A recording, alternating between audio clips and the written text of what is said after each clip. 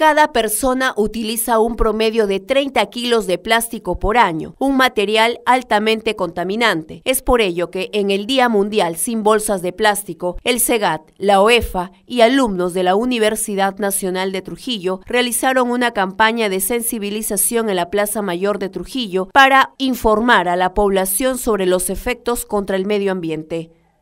Bolsas de papel, biodegradables, también se puede reusar a la de tela, reusar por ejemplo, no mismo botarlo, ¿no? sino reusarlo hasta, hasta lo más mínimo que se puede usar.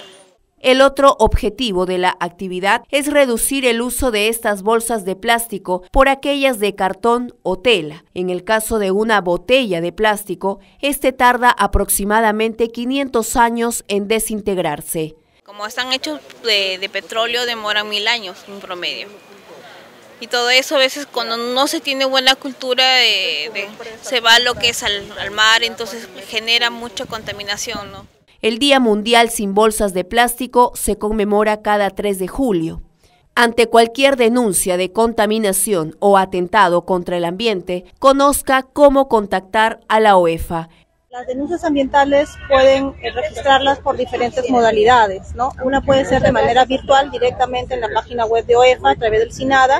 La otra opción puede ingresarlo en mesa de partes virtual también de OEFA o mesa de partes presencial ante la Oficina de Concentrar de Libertad ubicada en calle Francisco Solano 583, 536, disculpe, en la organización San Andrés o también a los teléfonos 203434 que es el número telefónico de la oficina desconcentrada. Por su parte, los estudiantes de Ingeniería de Materiales de la Universidad Nacional de Trujillo brindaron algunas recomendaciones para evitar construcciones informales y cómo reutilizar el material.